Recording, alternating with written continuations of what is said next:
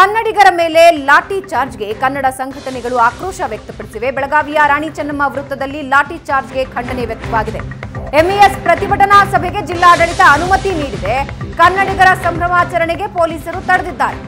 ಇದ್ಯಾವ ನ್ಯಾಯ ಅಂತ ಕನ್ನಡ ಪರ ಸಂಘಟನೆಗಳು ಆಕ್ರೋಶ ವ್ಯಕ್ತಪಡಿಸಿದ್ದು, ಬೆಳಗಾವಿಯಲ್ಲಿ ರಾಜ್ಯೋತ್ಸವ ಸಂಭ್ರಮದ ಮಧ್ಯೆ ಲಾಠಿ ಚಾರ್ಜ್ ನಡೆಸಲಾಗಿದೆ. ಆದರೆ ಎಂಇಎಸ್ ಪ್ರತಿಭಟನಾ ಸಭೆಗೆ ಮಾತ್ರ ಅವಕಾಶ ನೀಡಲಾಗಿದೆ.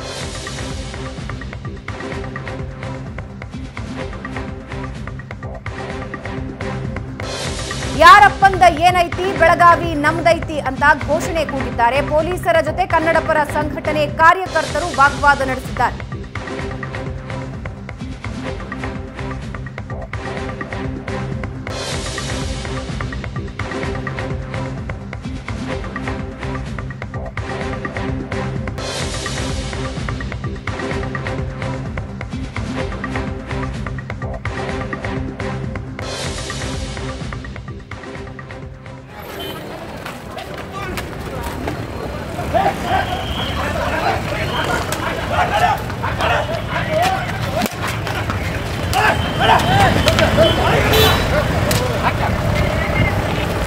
ಚಲೋ ಚಲೋ ರಾಣಿ ಚೆನ್ನಮ್ಮ ವೃತ್ತದಲ್ಲಿ ನಡೆಸ್ತಾ ಇದ್ದ ಸಂಭ್ರಮಾಚರಣೆ ಸಂದರ್ಭದಲ್ಲಿ ಪೊಲೀಸರು ಲಾಠಿ ಬೀಸಿದ್ದಾರೆ. ಸಂಭ್ರಮಾಚರಣೆಗೆ ಗುಂಪು ಸೇರಿದ್ರು ಅಂತ ಲಾಠಿ ಬೀಸಿದ್ದಾರೆ. ಮತ್ತೊಂದು ಕಡೆ ಎಂಇಎಸ್ ಪ್ರತಿಭಟನಾ ಸಭೆ ನಡೆಸಿದೆ. ಅದಕ್ಕೆ ಜಿಲ್ಲಾಡಳಿತ ಅವಕಾಶ ನೀಡಿದೆ. ಇದು ಯಾವ ನ್ಯಾಯ ಅಂತ ಕನ್ನಡ ಪರ ಸಂಘಟನೆಗಳು ಕೇಳ್ತಿವೆ. ಒಂದು ಕಡೆ ಲಾಠಿ ಬೀಸ್ತಾ ಇರೋ ದೃಶ್ಯ ನೋಡ್ತಾ ಇದ್ದೀರಾ? ಮತ್ತೊಂದು ಕಡೆ ಆಕ್ರೋಶ ವ್ಯಕ್ತಪಡಿಸ್ತಾ ಇರುವಂತಹ ದೃಶ್ಯ. ಕರ್ನಾಟಕ ರಾಜ್ಯೋತ್ಸವ ಸಂಭ್ರಮಾಚರಣೆಗೆ ಲಾಠಿ ಬೀಸ್ತೀರಾ? ಆದ್ರೆ ಎಂಇಎಸ್ ಪ್ರತಿಭಟನಾ ಮೆರ ಪ್ರತಿಭಟನಾ ಸಭೆಗೆ ನೀವು ಅವಕಾಶ ನೀಡ್ತೀರಾ? ಇದು ಯಾವ ನ್ಯಾಯ ಅಂತ ಪೊಲೀಸರೊಂದಿಗೆ ವಾಗ್ವಾದಕ್ಕೆ ಇಳಿದಿದ್ದಾರೆ. ಬಂದ್ ಮಾಡಿ ಸರ್ ಸರ್. ಡೈವರ್ಟ್ ಮಾಡ್ರಿ ಟ್ರಾಫಿಕ್ ರೀ. ನೀವು ಯಾವ ಟ್ರಾಫಿಕ್ ಒಳಗೆ ಹಾಕ್ಸತ್ತೀರಿ ಸರ್?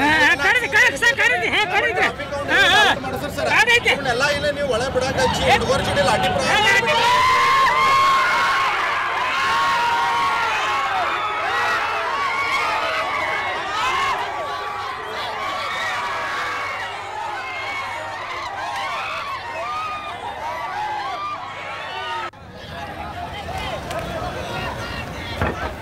ಬೆಳಗ್ಗೆ ಎಂಇಎಸ್ ಪ್ರತಿಭಟನಾ ಸಭೆ ನಡೆಸುತ್ತೆ. ಅದಕ್ಕೆ ಜಿಲ್ಲಾಡಳಿತದಿಂದ ಅವಕಾಶ ಇರುತ್ತೆ. ದೃಶ್ಯದಲ್ಲಿ ನೀವು ನೋಡ್ತಾ ಇದ್ದೀರಾ? ಒಂದು ಕಡೆ ದೃಶ್ಯದಲ್ಲಿ ಎಂಇಎಸ್ ಪ್ರತಿಭಟನಾ ಸಭೆ ನಡೆಸುತ್ತೆ. ಅದಕ್ಕೆ ಜಿಲ್ಲಾಡಳಿತದಿಂದ ಅವಕಾಶ ನೀಡಲಾಗುತ್ತೆ. ಆದ್ರೆ ಕರ್ನಾಟಕ ರಾಜ್ಯೋತ್ಸವ ಆಚರಣೆ ಮಾಡಿದ್ರೆ ಅದಕ್ಕೆ ಲಾಠಿ ಬೀಸ್ತಾರೆ. ಗುಂಪು ಸೇರೋದು ಈ ಸಂದರ್ಭದಲ್ಲಿ ತಪ್ಪು ಒಪ್ಪೋಣ. ಯಾಕಂದ್ರೆ ಎಲ್ಲಾ ಕಡೆ ಕೊರೋನಾ ಇದೆ. ಅದಕ್ಕೆ ಲಾಠಿ ಬೀಸ್ತೀರಿ. ಆದರೆ ಮತ್ತೊಂದು ಕಡೆ ಎಂಇಎಸ್ ಪ್ರತಿಭಟನಾ ಸಭೆ ನಡೆಸ್ತಾ ಇದೆ. ಅಲ್ಲೂ ಕೂಡ ಜನ ಕಿಕ್ಕಿರಿದು ತುಂಬಿದ್ದಾರೆ. ಅದಕ್ಕೆ ಜಿಲ್ಲಾಡಳಿತದಿಂದ ಅವಕಾಶ ಇದೆ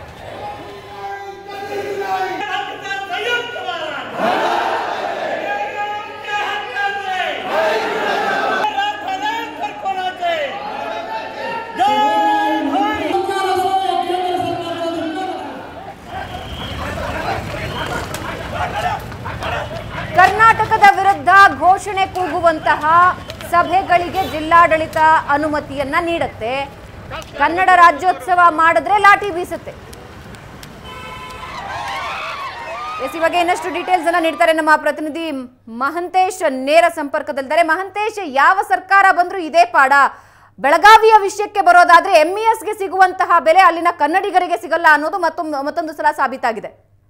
ಹೌದು, ನಿಜಕ್ಕೂ ಭವನ, ಯಾಕಂದ್ರೆ ಕೊರೋನಾ ಮಾರ್ಗಸೂಚಿ ಇರುವ ಹಿನ್ನೆಲೆಯಲ್ಲಿ ಬೆಳಗಾವಿಯಲ್ಲಿ ಪ್ರತಿ ವರ್ಷ ಅದ್ದೂರಿಯಾಗಿ ಏನು ಕನ್ನಡ ರಾಜ್ಯೋತ್ಸವದ ಮೆರವಣಿಗೆ ನಡೀತಾ ಇತ್ತು. ಆ ಮೆರವಣಿಗೆಗೆ ಬ್ರೇಕ್ ಹಾಕಿತ್ತು ಜಿಲ್ಲಾಡಳಿತ. ಅಂದ್ರೆ ಬೆಳಗಾವಿ ಜಿಲ್ಲೆಯ ವಿವಿಧ ತಾಲೂಕುಗಳಷ್ಟೇ ಅಲ್ಲದೆ ಪಕ್ಕದ ಜಿಲ್ಲೆಗಳಿಂದಲೂ ಸಹ ಹಲ- ಹಲವು ಕನ್ನಡ ಪರ ಸಂಘಟನೆಗಳು ಮತ್ತೆ ಕಾರ್ಯಕರ್ತರು ಆಗಮಿಸಿ ಇಲ್ಲಿ ಬೆಳಗ್ಗೆಯಿಂದ ರಾತ್ರಿವರೆಗೂ ಸಹ ಅದ್ದೂರಿ ಮೆರವಣಿಗೆ ಇರ್ತಿತ್ತು ಆ ಅದ್ದೂರಿ ಮೆರವಣಿಗೆ ಕೊರೋನಾ ಮಾರ್ಗಸೂಚಿ, ಅಂದ್ರೆ ಕೋವಿಡ್ ಮಾರ್ಗಸೂಚಿ ಇರುವ ಹಿನ್ನೆಲೆಯಲ್ಲಿ ಅದಕ್ಕೆ ಅವಕಾಶವನ್ನ ನೀಡಿಲ್ಲ.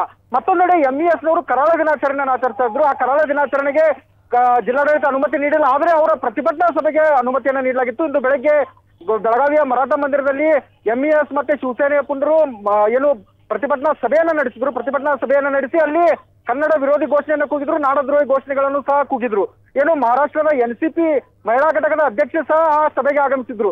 ಆದ್ರೆ ಇಲ್ಲಿ ಕನ್ನಡ ಪರ ಸಂಘಟನೆಗಳ ಕಾರ್ಯಕರ್ತರು, ಕರ್ನಾಟಕ ಕಾರ್ಯಕರ ಸ- ಕರ್ನಾಟಕ ರಕ್ಷಣಾ ವೇದಿಕೆಯ ಕಾರ್ಯಕರ್ತರು ಏನು ಸಂಭ್ರಮಾಚರಣೆಯಲ್ಲಿ ತೊಡಗಿದ್ರು, ಬೆಳಗಾವಿಯ ಚನ್ನಮರುತದಲ್ಲಿ, ಇವೇ ಗುಂಪು ಗುಂಪಾಗಿ ಸೇರಿದ್ರು ಮತ್ತೆ ವಾಹನ ಸಂಚಾರಕ್ಕೆ ಅಡ್ಡಿ ಆಗ್ತಿದೆ ಎಂಬ ನೆಪವೊಡ್ಡಿ ಪೊಲೀಸರು ಲಾಠಿ ಚಾರ್ಜ್ ನಡೆಸಿದ್ದು, ಇದು ಕನ್ನಡ ಪರ ಸಂಘಟನೆಗಳ ಆಕ್ರೋಶಕ್ಕೆ ಕಾರಣವಾಗಿರುವಂತದ್ದು ಸದ್ಯ ನಾನು ಬೆಳಗಾವಿಯ ಚನ್ನಮರುತದಲ್ಲೇ ಇದ್ದೀನಿ. ನನ್ನ ಹಿಂಬದಿಯಲ್ಲಿ ನೀವು ನೋಡ್ತಾ ಇರಬಹುದು ಯಾವ ರೀತಿ ಇಲ್ಲಿ ಚನ್ನಮರುತದಲ್ಲಿ ಯುವಕರು ಈಗ ಮತ್ತೆ ಸಂಭ್ರಮಾಚರಣೆಯಲ್ಲಿ ತೊಡಗಿರುವಂತದ್ದು ಏನು ಕೊರೋನಾ ಮಾರ್ಗಸೂಚಿ ಇರುವ ಹಿನ್ನೆಲೆಯಲ್ಲಿ ಗುಂಪು ಗುಂಪಾಗಿ ಸೇರಬೇಡಿ. ನೀವು ಏನು ಉತ್ಸವ ಯಾವುದೇ ರೀತಿ ಆಚರಣೆಯನ್ನ ಮಾಡಬೇಡಿ ಅಂತ ಹೇಳಿದ್ರು. ಆದರೆ ಏನು ಕನ್ನಡಪರ ಸಂಘಟನೆಗಳ ಕಾರ್ಯಕರ್ತರು ಇಲ್ಲಿ ಬಂದು ಸೆಲ್ಫಿ ತೆಗೆದುಕೊಳ್ಳೋದು ಮತ್ತೆ ಸಂಭ್ರಮಾಚರಣೆಯಲ್ಲಿ ತೊಡಗಿದ್ರು. ಆದ್ರೆ ವಾಹನ ಸಂಚಾರಕ್ಕೆ ಅಡ್ಡಿ ಆಗುತ್ತೆ ಅಂತ ನೆಪ ಒಡ್ಡಿ ಇಲ್ಲಿ ಲಾಠಿ ಚಾರ್ಜ್ ಮಾಡಲಾಗಿದೆ. ಅಂದ್ರೆ ಏನು ಈ ಚನ್ನಮ್ಮ ವೃತ್ತಕ್ಕೆ ಮಾರ್ಗ ಸಂಪರ್ಕ ಕಲ್ಪಿಸುವ ರಸ್ತೆಗಳನ್ನ ಟ್ರಾಫಿಕ್ ಡೈವರ್ಟ್ ಮಾಡಿದ್ರೆ ಈ ಸಮಸ್ಯೆನೇ ಉದ್ಭವಿಸ್ತಾ ಇರಲಿಲ್ಲ.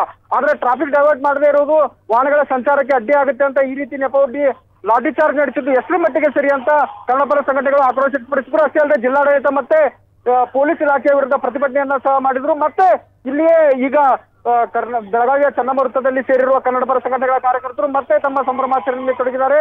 ಪೊಲೀಸರ ವಿರುದ್ಧ ಆಕ್ರೋಶ ವ್ಯಕ್ತಪಡಿಸಿ ತಮ್ಮ ಸಂಭ್ರಮವನ್ನ ಮಾಡ್ತಾ ಇರುವಂತದ್ದು ನೀವು ದೃಶ್ಯದಲ್ಲಿ ನೋಡಬಹುದು ಈಗ ಪೊಲೀಸರು ಇಲ್ಲಿಯ ಟ್ರಾಫಿಕ್ ಅನ್ನ ಡೈವರ್ಟ್ ಮಾಡಿದ್ದಾರೆ. ಅಂದ್ರೆ ಈ ಮಾರ್ಗವಾಗಿ ಸಂಚರಿಸುವ ಎಲ್ಲ ರಸ್ತೆಗಳನ್ನ ಬಂದ್ ಮಾಡಿದ್ದಾರೆ. ಬೆಳಗ್ಗೆಯಿಂದಲೇ ಈ ಕೆಲಸ ಮಾಡಿದ್ರೆ ಈ ರೀತಿ ಪರಿಸ್ಥಿತಿ ಉದ್ಭವಿಸ್ತಿರಲಿಲ್ಲ ಮತ್ತೊಂದೆಡೆ ಏನಂದ್ರೆ ಬೆಳಗಾವಿಯ ಬೆಳಗಾವಿಯಲ್ಲಿ ಎಂ ಎಸ್ ಕರಾಳ ದಿನಾಚರಣೆಯನ್ನ ಪ್ರತಿ ವರ್ಷ ಆಚರಿಸ್ತಾ ಬಂದಿತ್ತು. ಪ್ರತಿ ವರ್ಷವೂ ಅವಕ್ಕೆ ಅನುಮತಿಯನ್ನ ನೀಡ್ತಾ ಬಂದಿತ್ತು. ಆದ್ರೆ ಎಂ ಎಸ್ ಈ ಪ್ರತಿಭಟನಾ ಸಭೆಯನ್ನ ನಡೆಸಿತು. ಆ ಪ್ರತಿಭಟನಾ ಸಭೆಗೆ ಅವಕಾಶವನ್ನ ನೀಡಿದಿರಿ. ಆದ್ರೆ ಕನ್ನಡಿಗರು ತಮ್ಮ ಕನ್ನಡದ ಹಬ್ಬವನ್ನ ಸಂಭ್ರಮಿಸುವ ದಿನದಲ್ಲಿ ನೀವು ಯಾಕೆ ಅವಕಾಶವನ್ನ ನೀಡುತ್ತಾ ಇಲ್ಲ? ಅವರ ಮೇಲೆ ಯಾಕೆ ಲಾಠಿ ಬೀಸಿದ್ರಿ ಅಂತ ಸಹಜವಾಗಿ ಕನ್ನಡ ಪರ ಸಂಘಟನೆಗಳ ಕಾರ್ಯಕರ್ತರು ಜಿಲ್ಲಾಡಳಿತ ವಿರುದ್ಧ ಆಕ್ರೋಶ ವ್ಯಕ್ತಪಡಿಸ್ತಾ ಇದ್ದಾರೆ. ಅಷ್ಟೇ ಅಲ್ಲದೆ ಏನು. ನಾಡದ್ರೋಹಿ ಎಂ ಎಸ್ ಏನಿದೆ ಆ ಎಂ ಬಿ ಎಸ್ ಪೂರ್ಣರು ಏನು ನಾಡದ್ರೋಹಿ ಘೋಷಣೆಗಳನ್ನ ಕೂಗ್ತಾರೆ ಅಂತವರ ವಿರುದ್ಧ ನೀವು ಗೂಂಡಾ ಕಾಯ್ದೆಯಡಿ ಪ್ರಕರಣವನ್ನ ದಾಖಲಿಸಿ ಅವರನ್ನ ಗಡಿಪಾರು ಮಾಡಬೇಕು ಅಂತೂ ಸಹ ಕನ್ನಡ ಪರ ಸಂಘಟನೆಗಳ ಕಾರ್ಯಕರ್ತರು ಒತ್ತಾಯಿಸಿರುವಂತದ್ದು ಭವನ. ಎಸ್ ಧನ್ಯವಾದ ನಿಮ್ಮೆಲ್ಲ ಮಾಹಿತಿಗೆ.